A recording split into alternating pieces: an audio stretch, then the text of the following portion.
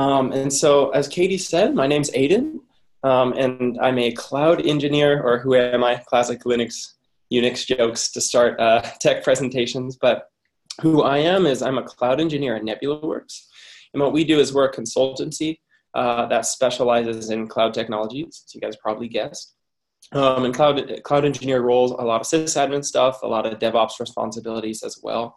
And what we do at NebulaWorks is we um, take clients who do want to either do um, greenfield or, or brownfield deployments um, in, in preferably cloud native spaces, and we use our transformative methodology uh, to transform their organization and allow them to adopt more agile processes um, around cloud technologies and uh, open source tooling. Yeah, and so I'm a, a certified Kubernetes administrator. Kind of explains the motivation behind why I wanted to do Kubernetes the hard way using Terraform, and I'll explain what Kubernetes the hard way is in one sec. Um, and uh, basically, this is just a test you take that, that proves that you know Kubernetes and that you know your way around um, kubectl and, and, and all that other fun uh, Kubernetes, all the other fun Kubernetes top, topics as well. So here's a link to my GitHub. Um, I'd like to note that I am a GitHub Pro. I'm not sure this badge just showed up. Um, I'm sure some of you guys have it as well, but uh, but pretty proud of that. I'm not sure why um, that showed up, but uh, GitHub Pro, whatever that means. Um, cool. So that's a little bit of background about me. Um, and so Kubernetes the hard way. Before we continue on, it's just this a it's it's a tutorial that this famous guy named uh, Kelsey Hightower made um, and he made it so that people can actually go through each of the steps and figure out all the all the things that are required in order to bootstrap a, a Kubernetes cluster from the ground up.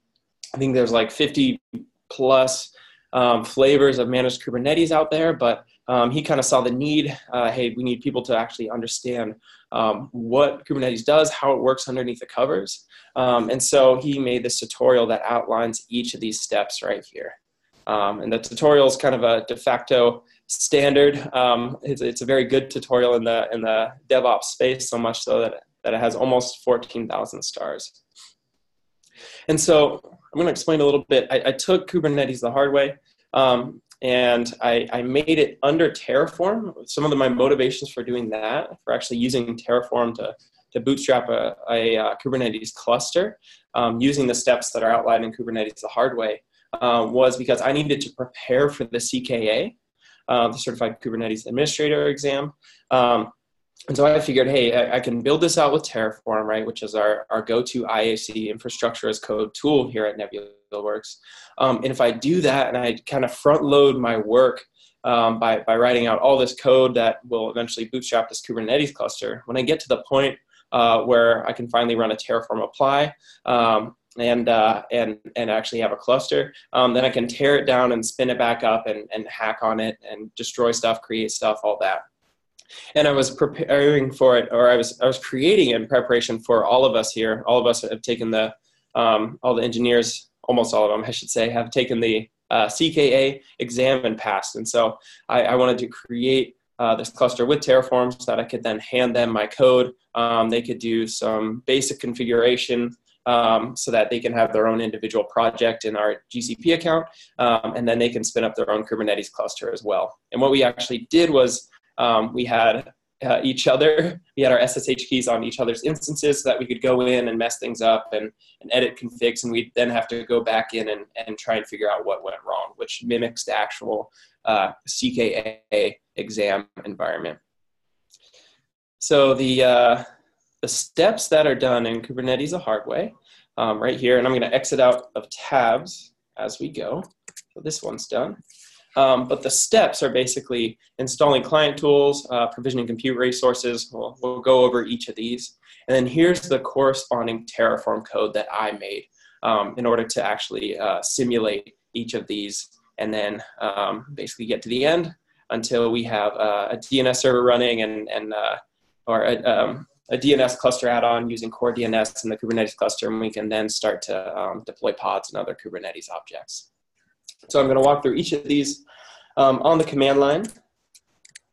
Um, so my directory structure for this uh, for this um, project, I basically have um, all the scripts that I use um, as you know, Terraform is, is somewhat rigid around scripts. Um, you can use file provisioners and remote execs uh, to run them, um, but it doesn't uh, quite have some, some of the functionality like, like Chef does, where you can do it in place and totally understandable. It's just a constraint of the tool. Um, and so what I did was was actually use um, these scripts right here, um, and the the names are pretty self-explanatory, right? Uh, we have installation scripts, we have configuration scripts um, that generate um, configs as well. Uh, we have scripts that generate uh, certs and all that. Um, that basically get put onto the instances as they spin up and then run by one final uh, remote exec, which is just a, a, a, uh, a, Terraform command that basically says run all these scripts. And we'll get in, into those in one sec. Um, and then we also have, oh, sorry, tmux. Um, we also have a bunch of, uh, because because um, it is all the certs that we're going to use in order to encrypt each of the services are self-signed. Uh, we have a lot of uh, certificate signing requests and and JSON configurations for those CSRs um, in our certs directory as well. So, um, so that's our kind of the the um, how the directory structure is laid out right here. It's also important to note if you're doing um, organizational uh, wide Terraform to have your uh, your directory organization um, under lock according to best practices and, and keep it consistent as well. It'll save you um, a lot of headache. So. Um, so our prerequisites for, for, for this step is basically just the using the, the G-Cloud tool, um, which we have right here. Um, that's fairly simple. Um, there are some client tools that are needed as well in this, uh, in this demo as well. There's Cloudflare's uh, SSL, like Swiss Army knife tool uh, that basically allows you to create the self-signed certificates that we're going to use in the lab. This tool called CFSSL JSON. Um, and then also kubectl, which is the uh, binary that allows you to interact with a uh, Kubernetes API server, and you can point it at, at various Kubernetes clusters as well. And as you can see right here, we have all of those tools installed as well. So, um, that one's done. Um, the next step in this tutorial is provisioning compute resources. And so what this entails is um, obviously networking details around um, around the the instances are to that are going to be spun up. You need to spin up a default network um, and, and, subnets as well. Um, create firewall rules, create network routes that you can basically load balance into the uh, into the the pod CIDR address ranges as well. Um, so a lot of a lot of networking details um, and a lot of uh, um, details around the the instances as well that are are actually spun up using the G Cloud uh, command line tool. And the gcloud command line tool is great, but this is really where Terraform shines um, because we have um, instead of instead of running these commands and then kind of forgetting where uh, where everything is, right? Not actually having it under code. Um, Terraform comes in and allows you to define those things um, using code. And so right here in this definition, um, we'll just go over this. Let me set, um, sorry, set uh, we have our, our controllers, um, which are just the, the, the nodes that are um, going to be used for our control plane. Um, and so this is just a fairly standard Terraform configuration right here. Um, the, the kind of the one difference is all of the file provisioners that we use for, for all of our bootstrapping scripts and our, and our uh, PEM files and, and all that. Um, and so we have a ton of file provisioners to get those scripts onto the machines that we can um, dynamically bootstrap them once they're spun up. And then, sorry, I'm going a little fast here. And then the final detail is uh, um, is this final remote exec right here, where we basically take all these scripts, make them executable, um, feed in uh, metadata for the actual project that we need to um, that we need to actually uh, uh, feed into the instances to bootstrap them successfully. Um, and then uh, once basically all these commands run, uh, the instances will be successfully bootstrapped and we'll have a working Kubernetes cluster. Um, the the, uh, the workers right here that are defined right here, uh, basically the same thing, just uh, standard Terraform configuration for Ubuntu 18.04 instances uh, with a lot of, of file provisioners and then one final remote exec to actually run all of the bootstrap scripts uh, individually. And then I'll just show you guys some of the Bootstrap scripts right here. Um, here's the one for the controller, right? Uh, so you couple Terraform, which uses HCL, HashiCorp configuration language, um, and then you, you couple them with these installation scripts right here that, that install CFSSL, kubectl, etcd, right, all downloaded as single um, binaries. Um, and then do some provisioning for uh, the, the rest of the Kubernetes control plane. So, um, so that uh, is compute resources. Um, networking resources that are created. Uh, we have a static IP that fronts a load balancer um, that balances to the, uh, to the pods. Um, or sorry, balances to the, uh, to the um, control plane. Uh, we have external firewall definitions, right? Internal firewall, all that. Um, load balancing, forwarding, the, the network definition right here, right? All of these individual things that we'd have to actually uh, create via the G Cloud command line can be automated away using Terraform with HCL. Uh, we have our subnets, um, network routes, um, other things like that. Uh, we don't need to go too much into that, but basically Terraform will handle all these networking details that um, Kelsey Hightower used the, the G Cloud command line utility to do right here. So all these details are, are done away and actually reproducible with the help of Terraform. So, um, so that step is done. Um, the next one is actually provisioning uh, CA and generating TLS certificates. And so I was um, trying to make this kind of natural, but uh, but we have uh, some of the steps that are required to actually get a Terraform apply running, which I, I want to run in the background for you guys. Is uh, we're going to actually create our CA. I um, I made it into a script so that way it's uh, you know automated away. I don't have to manually go through creating a CA every time I want to um, redo my certificates or or do a demo for the HashiDays talk. Um, so we're going to create our CA. We're going to then generate our certs from there. So you can see we have individual certs that are being generated for Kubernetes components. Um, and you can see all of the uh, all of the PEM files that have been generated from there. Um, the actual uh, what's going to actually be used for the encryption. Um, and then one other step is to actually, I'm going to skip ahead a little bit to show you guys um, but we're going to generate a config.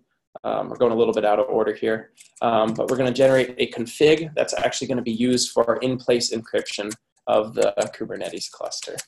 So um, I'm going to show you guys a Terraform apply really quick, just so that that can run in the background and we can actually see the end result by the end of this talk. Um, so we're going to run a Terraform apply. Hopefully the demo gods are nice to us. Um, let's see, no immediate failures. All right, this is looking good. All right, we're creating the network. We have the um, we have the uh, our Google Cloud Console open right here. These should be creating instances in one sec. Since that's running in the background, sorry about the um, the uh, the mismatch of steps right there.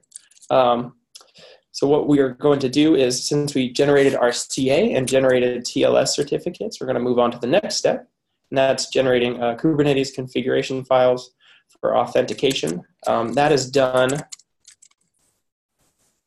right here. Um, it's basically using kubectl actually on the instances um, to generate configuration files for the, the individual Kubernetes components.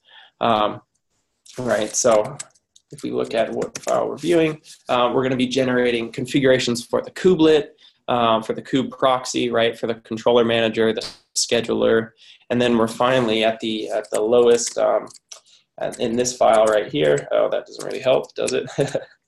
in uh, one sec.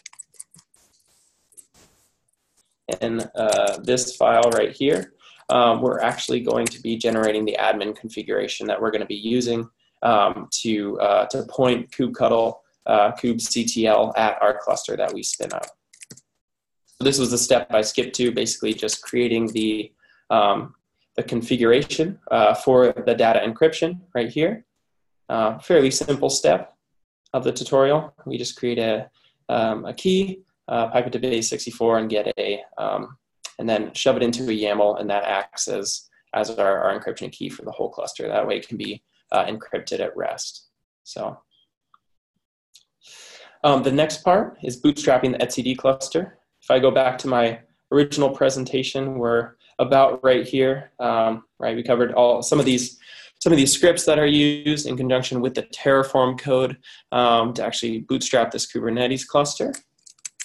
And so etcd um, is the next part right here. Um, and that's configured, that's actually shoved up. Uh, this, this script right here is shoved onto the instance using a file provisioner and a remote exec as well to actually get etcd going, um, right? And then verify that basically everything is working. And so just a quick background on etcd, it, it's basically the stateful component, the distributed key value score, store that's across the control plane um, and, and stores cluster data as well. So um, after that, uh, we use Terraform to, to bootstrap the Kubernetes control plane, um, which is right here in this ginormous file. Um, so all that is done here is, is basically configuring uh, the control plane's components, right? The API server. Uh, we downloaded manually, we manually downloaded the, the binaries that are used for things like the API server and the, uh, and the controller manager. And this file, this script is basically responsible for uh, configuring the services um, that are going to be used for, um, for, for things like the API server and the controller manager um, and etcd as well. So just some configuration that we do via the script. Fairly standard things. Um, finally, some, some systemd starts for, uh, for, for things like the API server, controller manager, and the scheduler, and then Nginx, which acts as a load balancer as well. Um, Next is bootstrapping Kubernetes worker nodes. Um, so same thing here. Uh, the, the components that are used on the worker nodes are the kubelet and the kube proxy. And so same thing, we're running those as background services. This is actually a, a script that's run, uh, that's, that's gets onto the instance via a file provisioner and run via remote exec. Um, so fairly standard here. Here's where we configure the CNI networking, uh, our container runtime, which is containerd. Um, and uh, and the kubelet as well. So fairly standard. Um, oh, sorry, Zoom panel's getting in the way. Let me move it. Okay, awesome. So after that, uh, we have to configure kubectl because hopefully our cluster, oh, still creating. Um, so as you can see, the remote execs are still running. Um, hopefully that'll be completed soon. Um, but then after that, we can configure um, kubectl and basically get underway, um, and and we'll have a, uh, a working Kubernetes cluster as well. So let's see. Hopefully, this completes soon. All right, still creating. Okay, so let me go into. Um, Gotcha. So let me just re-go over, I guess, some of the points that I already covered, um, and let me actually dive more in detail into the uh, into the the compute resources as well. Um, so what I'm going to do is go up here and actually go over the uh, the the worker nodes. So we, we already went over. We're just kind of rewinding a bit. We already went over the the HCL um, that uh, that is for our Terraform, that for the actual um, uh, Kubernetes controller. And so for the worker, it's basically the same metadata, right? The same uh, boot disk size, um, fairly standard configuration here, IP forwarding. Um, we have three for the workers, right? It's a, it's a three node cluster, three um, controllers and three workers, um, a machine type, a name, our network interface. Um, how we're actually configuring our pod CIDR is through metadata. So each of our uh, each of the the nodes has attached to it an actual pod CIDR address range that it creates pods and attaches IPs to that are actually in this pod CIDR address. And then similarly to the uh, to the controller instance, we have these these file provisioners right here. Things like adding SSH keys so we could get onto each other's instances. Um, uh, PEM files for, for encryption, right? Um, various configurations, uh, the generation of, of client certificates, right? Um, generating kubelet configurations, other things like that. So, um, and depending on your use case, you might not be able to use actual file provisioners. And so, if you're in something like Amazon Web Services, um, something like that, and you you actually need um, you actually don't have SSH access or, or something, you just have AWS API access. You can do something like like bake uh, AMIs. I call them AMIs, but uh, bake AMIs and get configuration in that way as well. Um, it's just kind of less flexible, but um, but enables you to kind of bypass the SSH route. So there's there's a lot of workarounds there. And then one final um, yeah one final step is the the final uh, remote exec that runs each of the scripts, similar to the uh, similar to the, the controller. Cool. So we have a working Kubernetes cluster now. Um, sorry about that little delay. And so we're going to configure kubectl for remote access. And real quick, it looks like I have. Can you share your Tmux configuration, please? All right, I like that question. Um, yeah, looks pretty cool, right? so um, yeah, I, I, definitely can. So it, it's at my uh, my GitHub link. Um, uh, here, I'll give you a second to copy this down. GitHub.com, uh, Aidan Soles, right there. A I D A N S O L E S. And I'll come back when I finish up, I'll come back to that link as well. Um, so we're going to jump to configuring our, um, going to configure kubectl now. Um, so in order to do that, we have this um, script right here, basically run some G, G commands, um, enables us to point um, kubectl at our at our cluster that we just spun up. Okay, so we're going to clear our screen, um, and then we're going to run just a simple command to see whether um, it worked or not. All right, wonderful. So, so we just got the um, the the pods in all namespaces. We can get our component statuses as well. We see that our individual Kubernetes components are, are up and running healthy, right? And then we can actually, um, oh, sorry. Um, so we can, we can see um, that those, those are running successfully as well. So, um, so our kubectl is then configured. Uh, we automated all these steps away with, with, uh, with that script. We got our component statuses. You can even do something like kubectl get nodes just to verify that I actually did spin up uh, three worker nodes. Um, so I wasn't faking it. I swear this works. Um, then we can move on to the next step, uh, provisioning network routes. Uh, we actually already covered this in um, in in the um, in the the Terraform code that we went over for for actual networking. We went over some of those routes, um, and those are right here, right where we did our static IPs and external firewalls. And if we see right here, um, this is where we're actually provisioning network routes into our into our pod CIDRs right here. So that's the Terraform code responsible for that step. Um, the next step is basically enabling core DNS um, in the, the actual cluster. So I'm just going to show you guys that step right here. Um, let's see, so let's do, I have SSH right here. Let me SSH and we're just going to run um, this command right here to prove that we enabled core DNS. This might have to be, okay, wonderful. So because it's idempotent, um, let's see, I believe, huh, I think that worked. I should have set sync panes off. Hold on one sec. There we go. All right, that worked. It's just because we ran it at the same time. So let me. So what we can do um, is basically run a, um, so we're configuring core DNS during this step right here. Um, and so if we run a BusyBox image, um, we can then do a name server lookup. Um, actually in our in our BusyBox image using kubectl and, and show you guys that core DNS, uh, which is a part of Kelsey Hightower's tutorial right here, um, that it actually worked. So we're going to do that really quick, show you guys that. We're going to get all pods.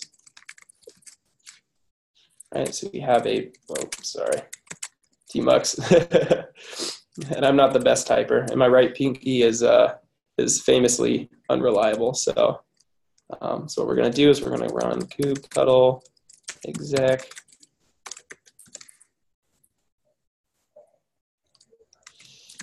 Let's look up Kubernetes. There we go.